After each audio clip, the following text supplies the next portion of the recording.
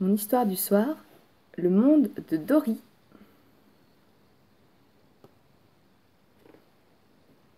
Un bonheur inoubliable.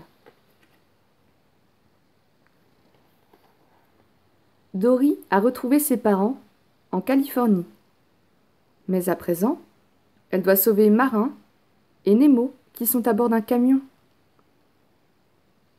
Elle se lance à la poursuite du véhicule avec ses amis, Destinée et Bailey. Le camion roule sur un pont, tandis que Dory et ses amis le suivent en contrebas, dans l'eau. Tout à coup, les loutres surgissent et boum Tous se cognent dans les piliers d'un pont. Mais cela donne une idée à Dory. Destinée la projette sur le pont et elle demande aux loutres de se faire des câlins sur la route. Attendris, les conducteurs s'arrêtent.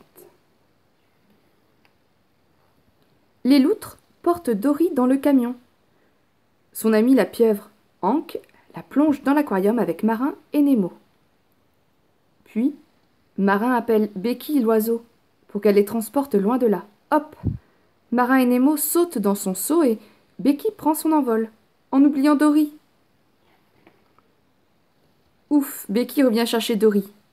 Hank lui dit alors au revoir. Pas question, répond Dory. Tu viens avec nous. Mais Hank n'a pas le temps de répondre. Le chauffeur vient de refermer la porte du camion. Et le véhicule redémarre déjà. Dory et Hank se faufilent par une bouche d'aération sur le toit du camion. Puis Hank s'étale de tout son long sur le pare-brise. Le chauffeur a la peur de sa vie. Il abandonne son camion, Hank prend le volant et Dory le guide. Ils roulent vers l'océan. Mais la police leur bloque la route. Dory demande alors à Hank de rouler jusqu'au bord de la falaise. Les portes s'ouvrent plouf Tous les poissons qui se trouvaient dans les aquariums avec Dory et Hank retournent à la mer. Dory a retrouvé ses parents et sa famille d'adoption, Marin et Nemo. Destinée, Bellet et Hank, ses précieux amis, sont là aussi. Tous ceux qu'elle aime sont réunis. Et elle est heureuse.